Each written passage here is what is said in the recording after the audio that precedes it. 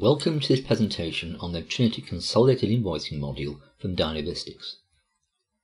In many businesses, particularly those that make small regular deliveries, there can be a requirement to consolidate multiple shipments onto a single financial invoice whilst also retaining an audit trail back to the originating orders and deliveries. With this standard Dynamics GP, you can create combined invoices using the bulk confirmation function with an advanced distribution. However, each time you run this, you must select the fulfillment orders to be included. With consolidated invoicing from Dynavistics, you can specify rules to be applied to each customer so that the process becomes more automated. It allows you to maintain the complete audit trail. It reduces the costs by combining multiple deliveries onto one invoice, and it helps you manage your customers' invoicing requirements.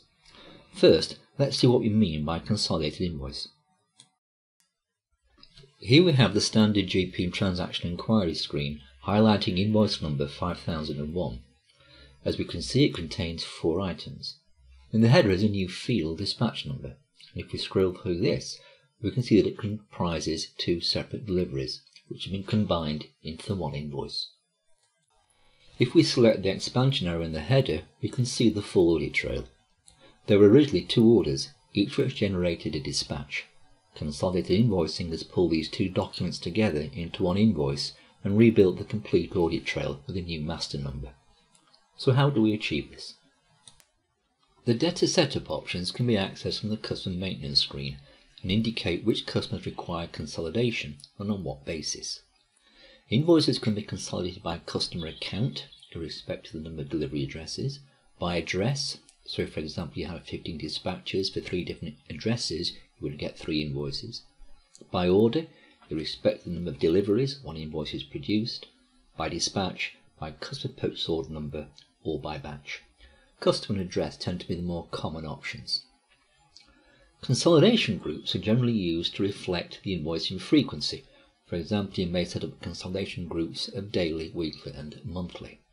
Summary or detailed invoice print reflects the layout required, which we will see later. Once these rules are in place, we can run the consolidation process by range of customer or group. Process holds can be applied automatically to these transactions to prevent inadvertent posting of individual invoices. The Preview button allows us to see potential transactions.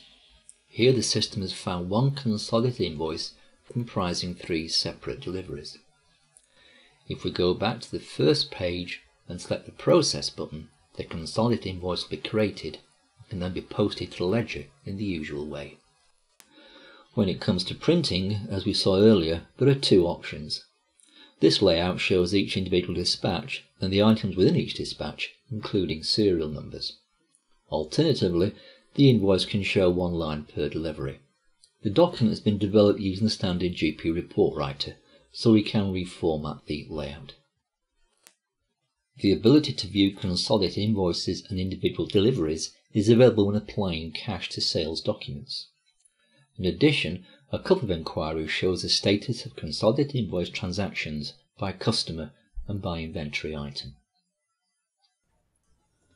So with Dynavistics you can deploy rules-based automated consolidated invoicing, allowing you to consolidate invoices by customer, address or order number produce summary or detailed invoice prints, group customers and automate the invoice creation process, and view detailed deliveries within each invoice. In so doing, it will help reduce costs and increase your customer satisfaction and engagement. This presentation will have several short videos on our website that cover additional inventory, purchasing and order processing functionality that will complement your Dynamics GP system. I hope you found this presentation interesting, and if you'd like to know more, please schedule your free demonstration today. Thank you.